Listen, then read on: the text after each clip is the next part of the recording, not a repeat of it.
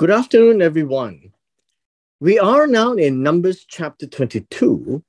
And as we proceed into Numbers 22, I would like to draw your attention to a, the previous chapter that we did last week.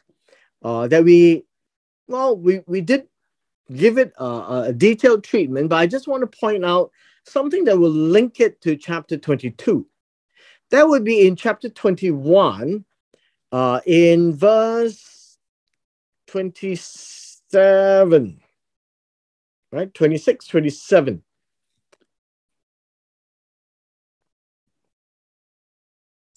When you take a look at this, these are the cities that Israel went to take from the Amorites, right? In Heshbon. Uh, as you can see, this this is uh, not somewhere at the northern part of uh, the the land of Moab, right?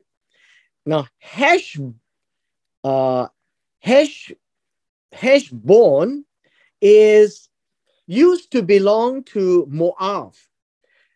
If you look at verse 26, Heshbon was the city of Sihon, the king of Amorites, who fought against the former king of Moab and had taken all his land from his hand for from as far as Arnon.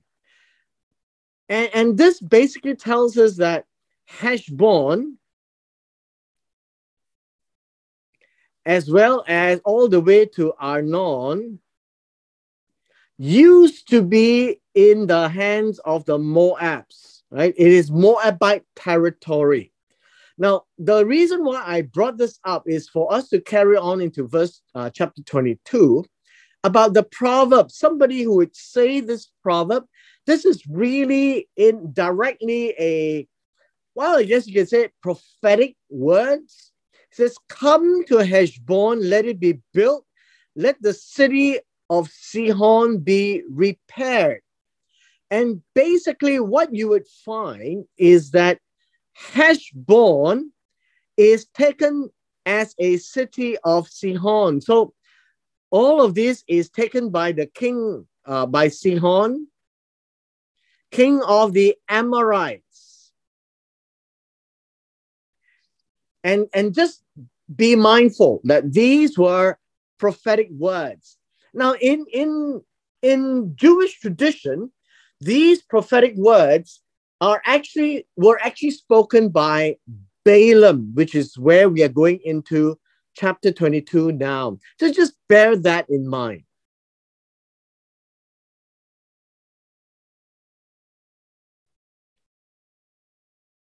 Given the background of chapter 21, as you recall, Moses led the children of Israel, took everything that King Sihon had, as well as King Og, these were territory that was north of Moab, which also means that a part of the northern part of Moab, which was taken by King Sihon, was also taken by the children of Israel.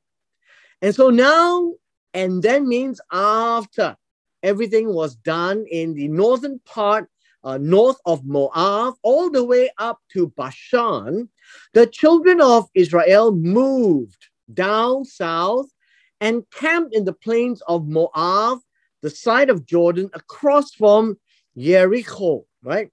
Yeah, uh, Jericho is a city which in the book of Joshua would be uh, one of those major cities that was taken um, in the very early part of the conquest.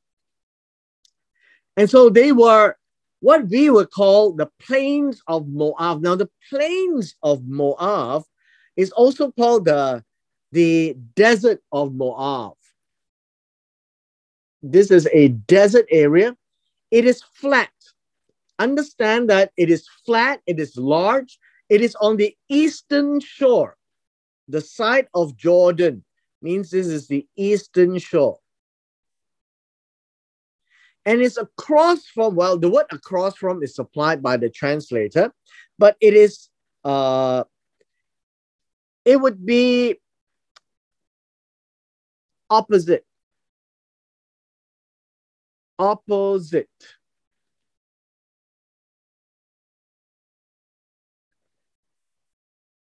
To jericho right? Uh on on the side opposite to jericho and basically, what you would find is that this is a, a place where the children of Israel would stay for quite a while. However, it is in Moab.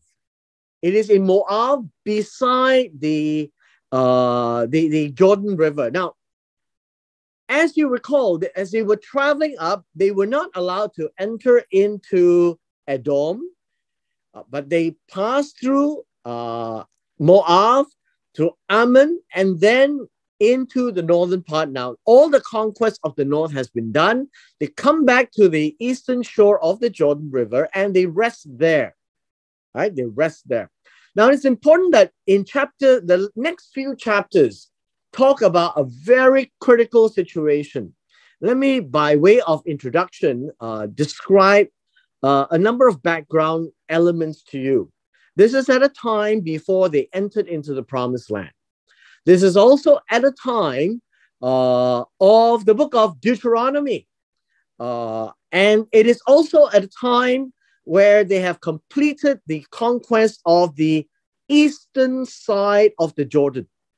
And we read that in the previous chapter. They're now resting at the plains of Moab or the desert of Moab. It's a very large piece of uh, land and uh, next to the river where they are fed is also very flat.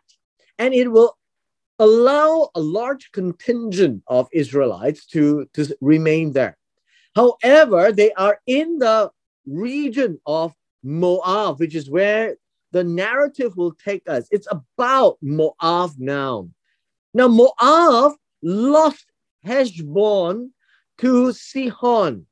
Uh, and as I indicated, that uh, was most likely based on the prophecy or the words spoken by Balak, uh, sorry, by Balaam, right? Now, Balak is the king of Moab at this time. He is the son of Zippor. He saw, now understand, all of these elements, they're all very visual. All that Israel had done to the Amorites. This would be Sihon and Og. These are the Amorite kings. And Balak was not able to fight Sihon, and that's why he lost uh, a great deal of his territory to Sihon, which the children of Israel now took. And Moab was exceedingly afraid of the people. Who were these people? Israel. Because they were many. And Moab was sick with dread because of the children of Israel. So if you look at verses like these, you would be able to see that uh, afraid of the people, this would be children of Israel. They were many children of Israel. How many? As the stars of the sky. That's how many they are now. And so now exceedingly afraid and sick with dread, they are also the same expression. So we have an A and a B right here. Exceedingly uh, afraid. This really means um, gore, right? Gore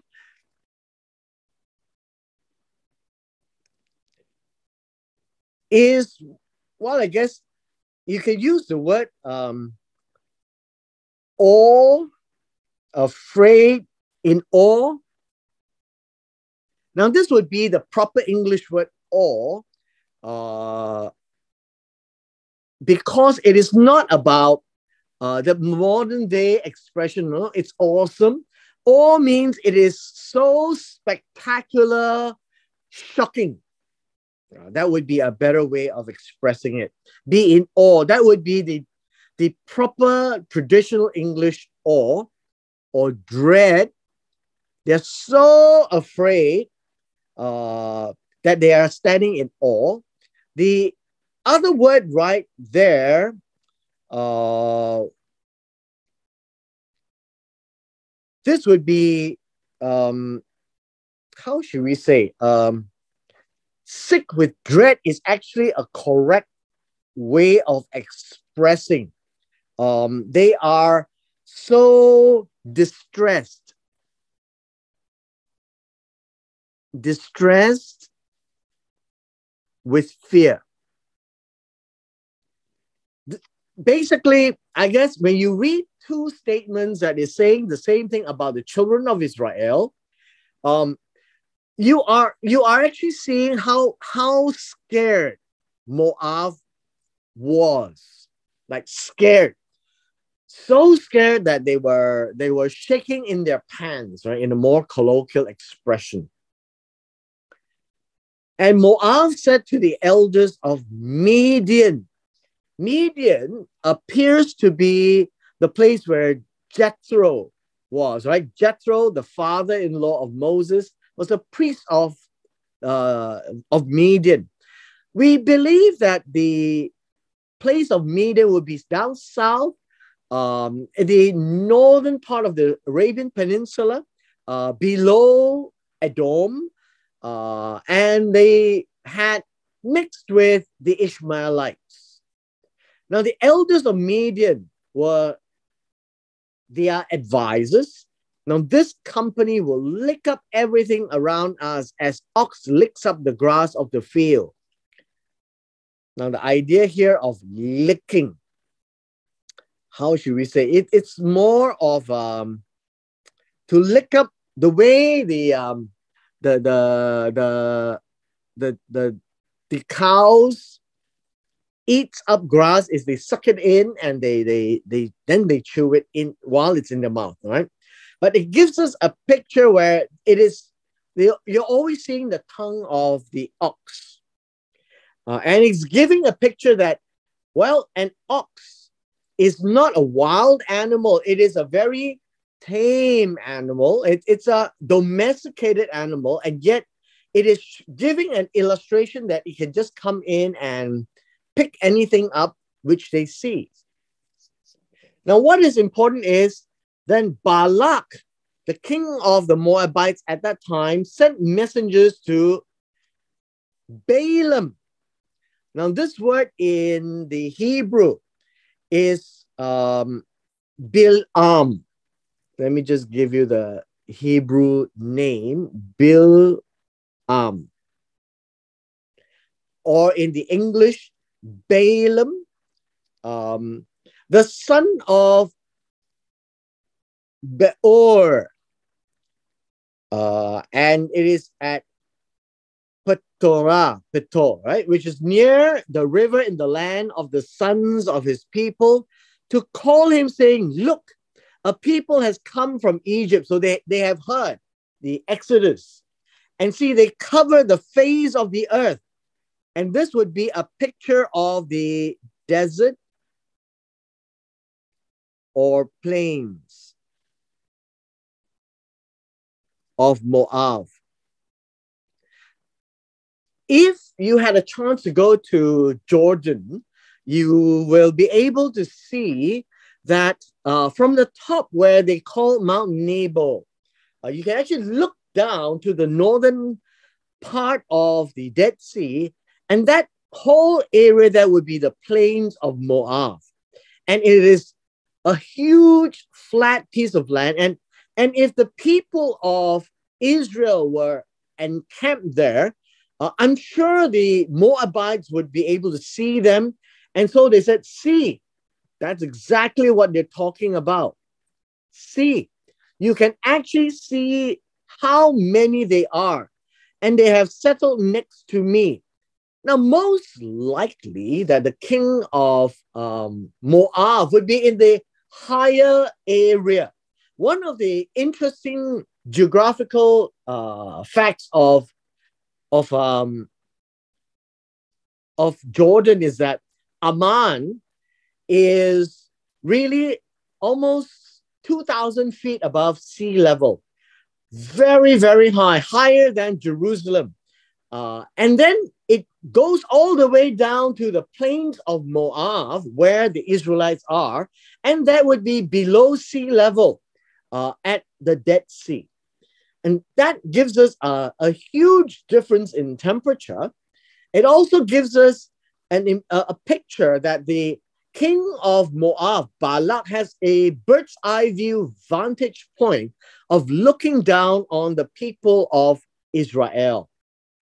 And so now the request to, um, to Bilam or Balaam is this. Say, therefore, please come at once Curse this people for me, for they are too mighty for me. I can't fight them. Perhaps I shall be able to defeat them after that and drive them out of the land.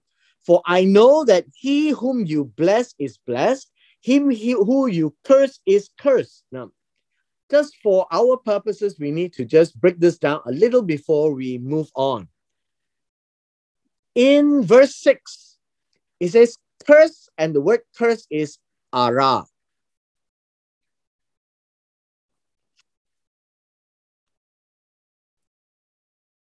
And this word curse uh, essentially is to execrate, you know, is to say something bad uh, to befall a people.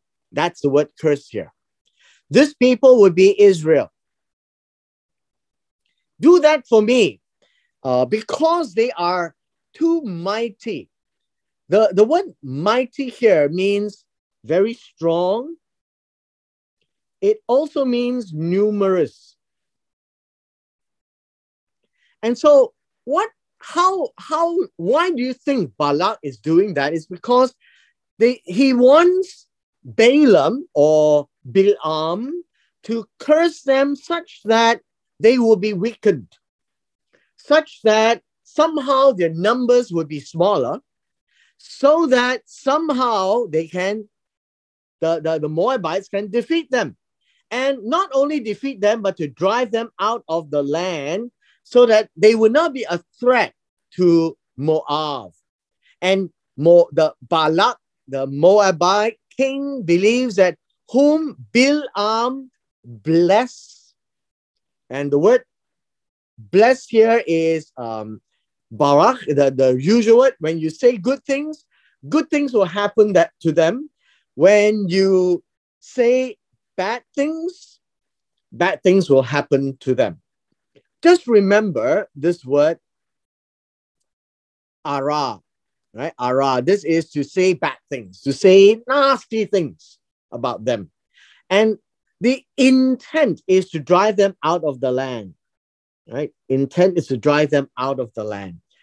And so that is the intent of Balak with Bilam or Balaam.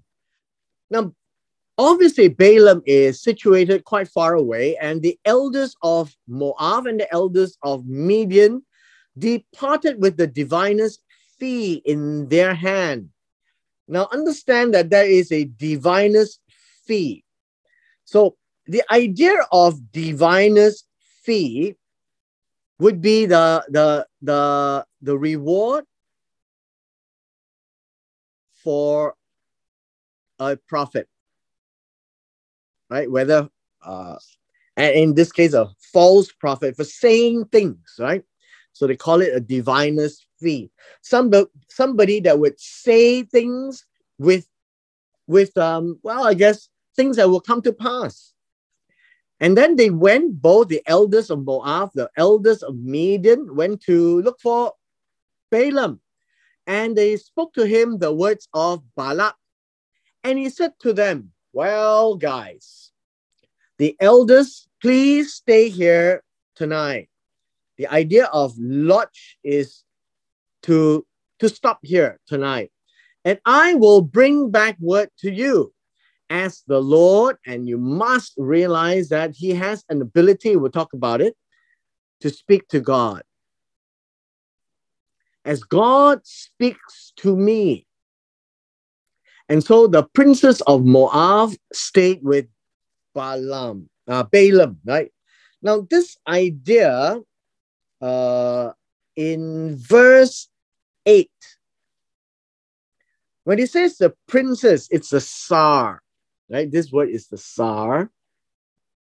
like Sar Shalom, Prince of Peace. So they they are really uh, leaders, leaders, chiefs, right? Uh, these are noble men. And so these were the elders. So they are the princes of Moab. So next time when you read the word princes of Israel or princes of a, a particular state, it, it really talks about the leaders, right? The chiefs. Uh, these are the people uh, who are taking on leadership position. Verse 9 Then God came to Balaam, and God here is Elohim. I just gave you some of the Hebrew words so that you know what is behind some of these English words. And God came to uh, Balaam and said, Who are these men with you? Now, understand, it's not that God didn't know, I suppose. Uh, it's like um, God in the garden saying, Where are you? Who are these men? So when you say God came to Balaam, uh, we're not talking that God actually walked into his bedroom. Uh, what we have seen is that beyond Moses, we see that people are spoke to God through a shadow, uh, through a veil, uh, through dreams, in and never in a direct way. But they these people would would know. So Balaam seems to have an ability to see God, right? See through veil or dream or vision. And he communicates with God. Now we see that when God spoke to Pharaoh, for example, right? Uh, in uh, in the book of Genesis, uh, when Abram and Sarai went into uh, Egypt, and so now we see God appearing and, and, and addressing non Israelites. Very unusual, but it happens. Uh, does God speak to other people? We, we are seeing uh, instances, and we are seeing one of those rare instances here. Balaam is not a prophet of God in the sense of the word. Uh, Balaam is not a prophet in the sense of Samuel. Uh, Balaam is not a prophet in the sense of Moses and Joshua. Uh, and so right now we have Moses still alive, and Moses is able to communicate with God as a friend face to face. Balaam also, but indirectly. And so now we see God speaking, and, and Balaam knows that God here is Jehovah. And so God came to Balaam and says, Who are these men with you? And Balaam said to God, Balak, the son of Zippor, king of Moab, have sent to me, saying, Look, a people has come out of Egypt, and they cover the face of the earth. Come now, curse them for me. Now, this is where I want to point out to you the word curse is different from the word that uh, Balak used. This word curse is kavav, right? Kavav. And uh, how should I say? Kavav. And this is a very strong word. This is a very strong word. Uh, it says, Kavav them for me, not ara, but kavav. Ara may, merely says bad things, right? Kavav literally gives the most serious and severe ex, um, uh, it, it, it's it's a it's a form of stabbing by words. And uh, he is misquoting Balak for perhaps intentional, and then that uh, Balak shall be able to overpower them. The word overpower them is to engage in battle.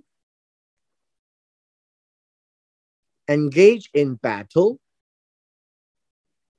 Now, does that mean that Balak could not engage in battle? No, no, no, no. Balak could engage in battle, but he knew that he was going to lose. So he never engaged. So technically speaking, looking at so not the numerous and, and strength of the army of Israel, Moab could not even start a war.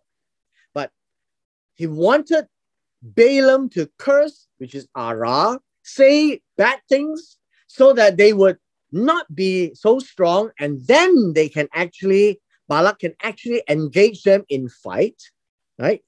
Uh, and then drive out. Drive out means drive away. The, the intent of this drive out is not just drive out of the land, because this, if you look at what this word and these words here as a pair, implies something much more than taking them out of the land, uh, implies something more severe than saying something nasty. And because of the choice of words that Balaam made, then God said to Balaam, You shall not go with them. You shall not, and that's verse 12, curse the people and this word curse, he's using ara, a lighter ver- a word, which is what uh, Balak actually meant.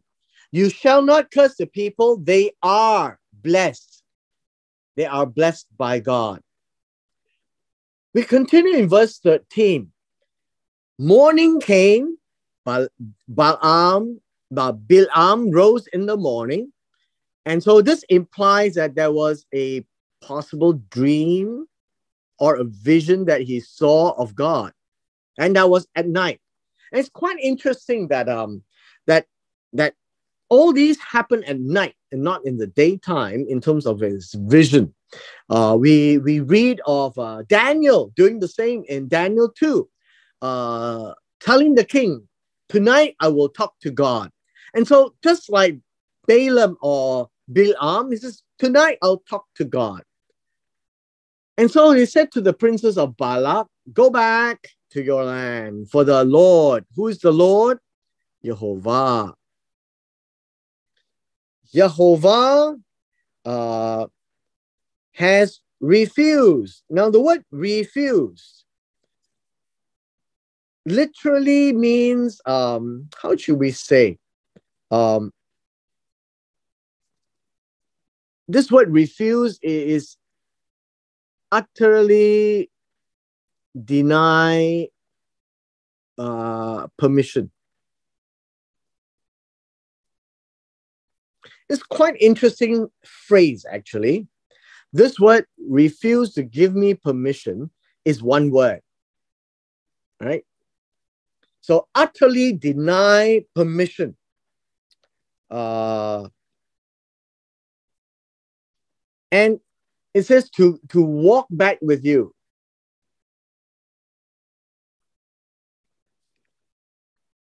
And so Balaam says that uh, I, I have no permission to go with you.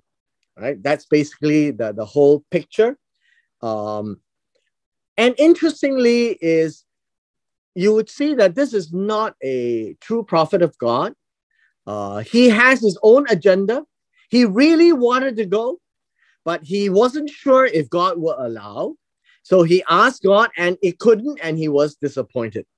And the princess of Moab rose, went back to Balak, and says, Balaam refuses to come with us.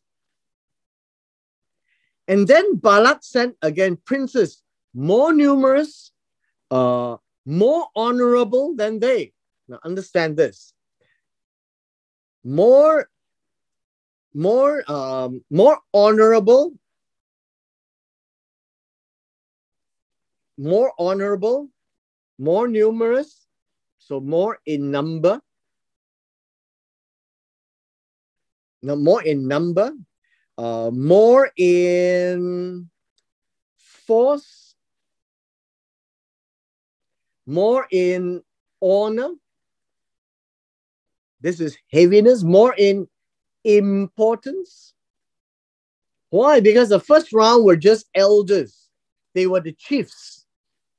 So Balak thought that, well, let me send them in more important roles, perhaps, that could interest him. Now, they didn't realize that Balak wanted, uh, Balaam, Bil, uh, Bilam wanted to go, uh, but God wouldn't allow. And so it was blamed to God. And so they came to Balaam again and says, well, that says the son of uh, Balak, uh, son of Zippor, let nothing hinder you from coming to me. Don't let anything stop you from coming. Well, what does that mean? In verse 16, when it says, let nothing stop you, let nothing hold you back, right? Hold you back for coming, for I will certainly honor you greatly uh, verse 16 and 17 now that I will honor you greatly. I will do whatever you say to me. Now, why is he so anxious? Because of what he has seen happen to him with Sihon. And that was the uh, Proverbs that I referred you to in chapter 21. Therefore, please come, uh, curse this people for me. And this word curse uh, is now a is now kavav. A stronger word, a stronger word. And that would be the word that uh, Balaam used when talking to God. And then Balaam, uh, uh Balaam answered, Although Balak would give me his house full of silver and gold, I could not go beyond the word of the Lord of my God. Now, interestingly, you could look at this expression. Balaam called God the Lord my God. Right? The Lord my God. And this is the formal name of God. It tells us that um, he has been doing things on behalf of God. Uh, he has been uh, he has been used by God to speak, and, and well, I guess in that sense, a form of a prophet, and he understands this. He is doing it for money, now, nevertheless, but he understands this point of view. He says, I will only do what God says uh, to do less or uh, to I cannot do less or more. I can only do exactly what the word of God says. Now, this word word is not davar, by the way. Uh, I think we could use the word the mouth, right?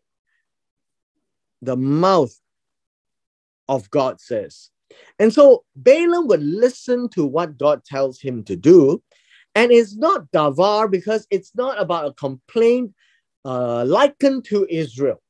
It is probably tasks that were entrusted to him to execute.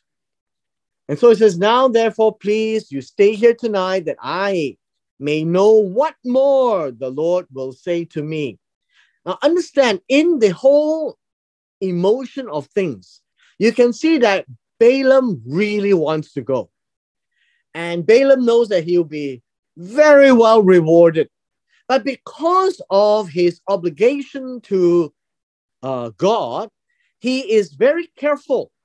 At least he knows his boundaries. But nevertheless, in his heart, he really wants to go. So he will go and ask permission again and see what God will say.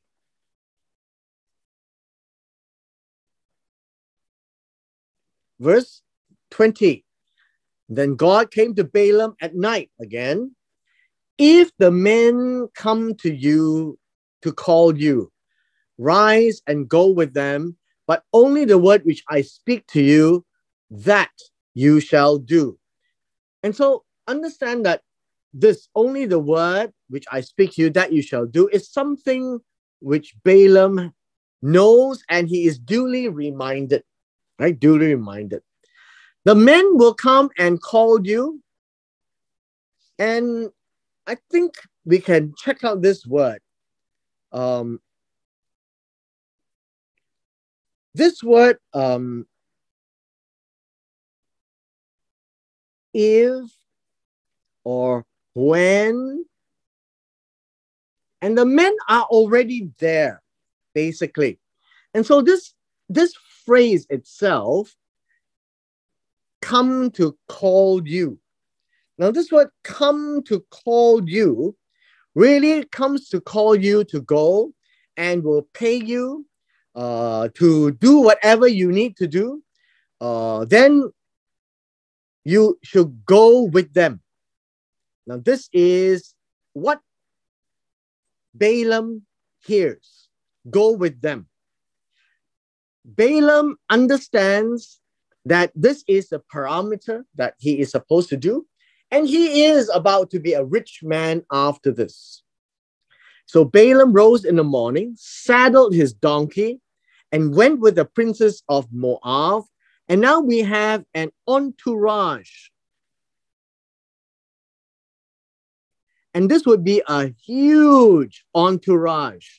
Why huge? Because there were more people, more important, um, more rank, and, and more whatever. And they are escorting Balaam to the king of Moab, Balak. Now, this is a big deal Now, prophets of God don't do this. And in this case, you can see that the prophet of uh, Balaam is not really what I would call a prophet of God, but in, in, the, in the full sense of the word. Uh, but uh, Balaam nevertheless speaks on behalf of God, uh, and whether he would do them would be something that he will have to decide for himself. Now comes a more interesting part of the narrative in verse 22. Now, in verse 22, now in verse 22, God's anger was aroused.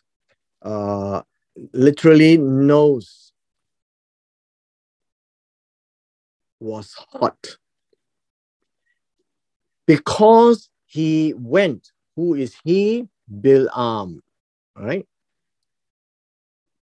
Or Balaam. Uh, let's pause here for a moment and, and reflect on this. Uh, in the previous two verses, uh, right before this, verse 20, right? Uh, God came to the prophet at night and said that if, when these people come to call you, uh, and, and, and if they the men can't come to call you, then go, go with them and only do what I tell you to do. Uh, and now God's anger was aroused because he went. And this was a perennial question that many people had. I don't think it's that easy to spot it from the English, but the idea here was that um, God doesn't want Balaam to curse the people. And by him going, so anxiously and looking at the money that's in for them. He really wanted to go and he wanted God just to say, okay, it doesn't matter what else that he needs to do. He just wanted to say, okay.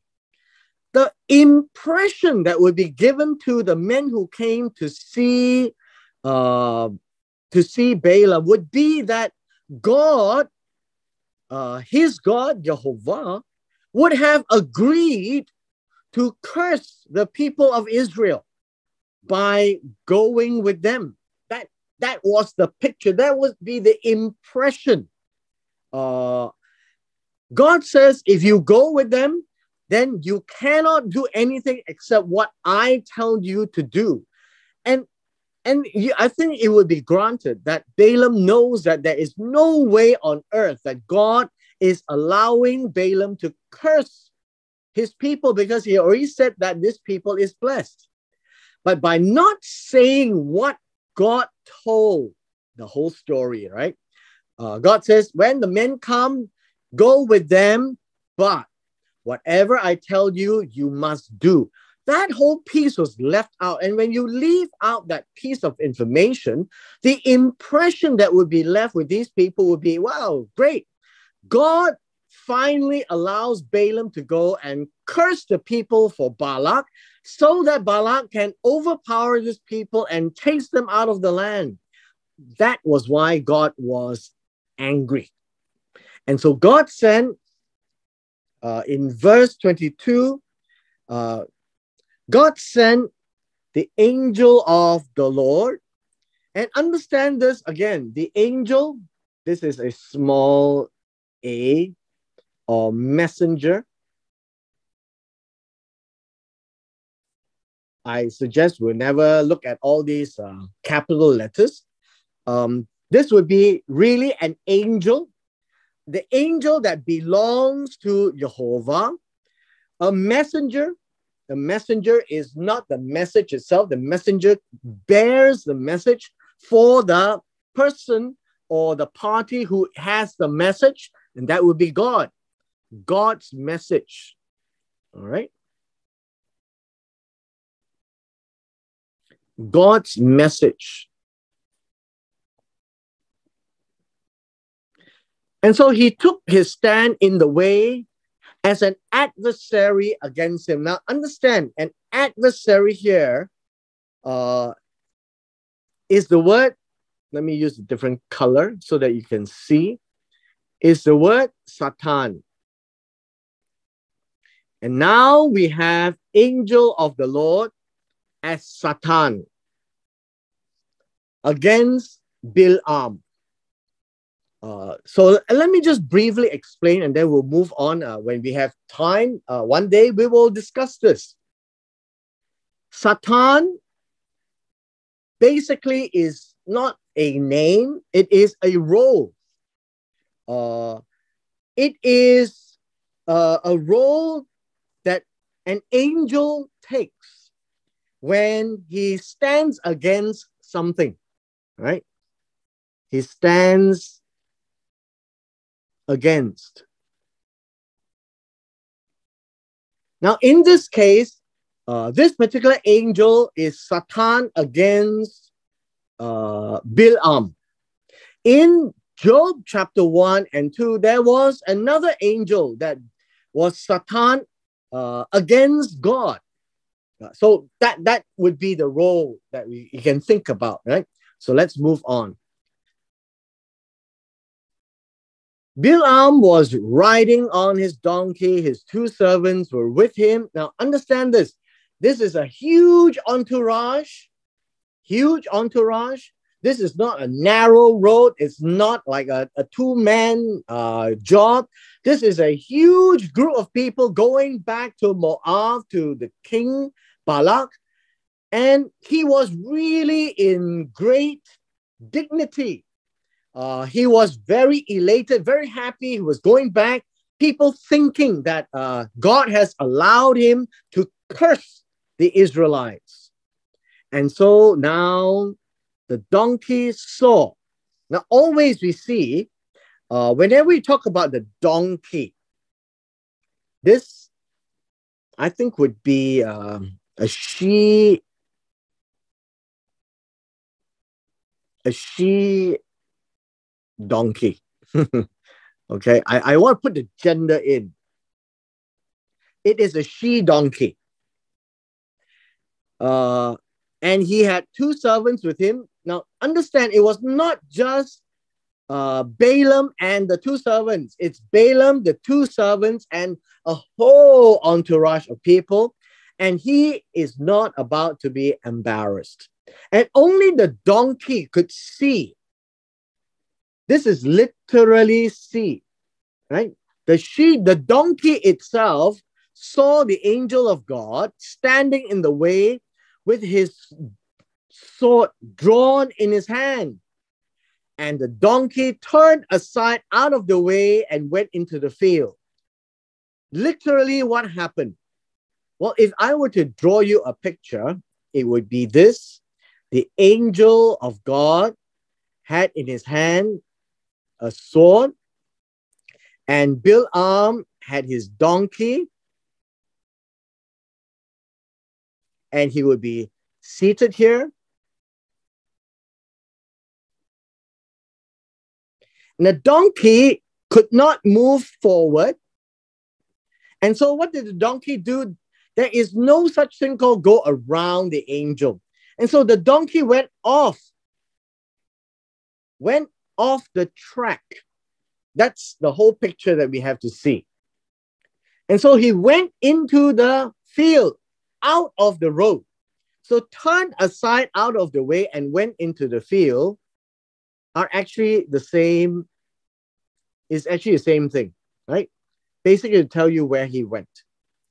And so Balaam struck the donkey to turn her back back to the road. The, the idea of uh, of struck the donkey uh, in verse 23 uh, comes from the word, you know, when when when God struck Egypt with a plague, right? When when when they struck the enemy uh, to destroy them. That's the word struck. And it is a very strong word. And, and this is strike uh, and beat.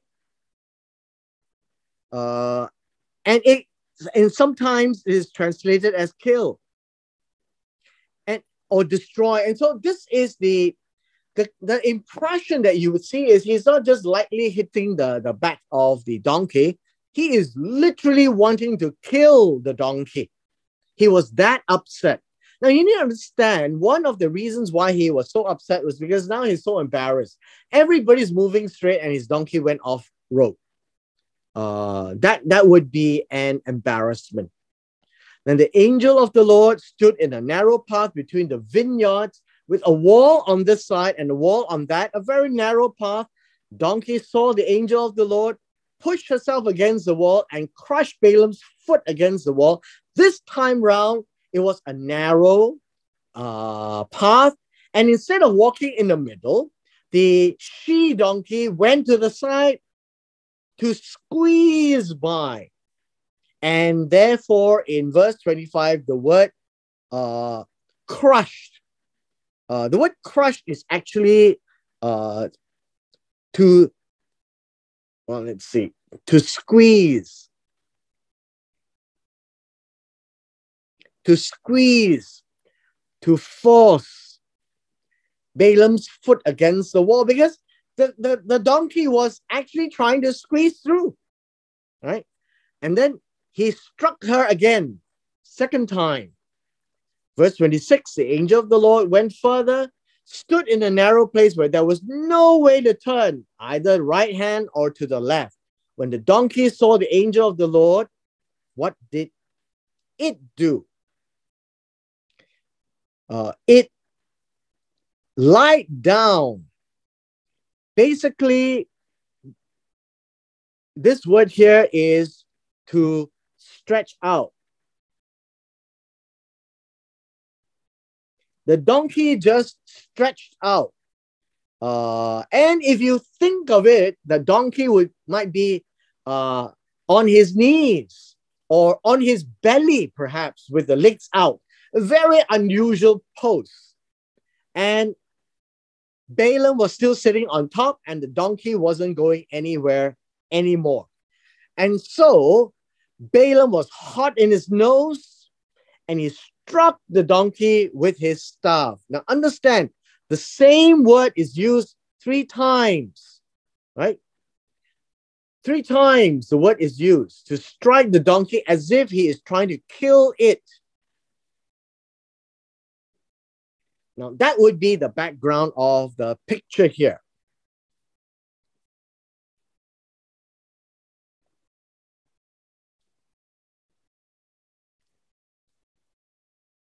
Verse 28 onwards uh, would be a very interesting uh, exchange.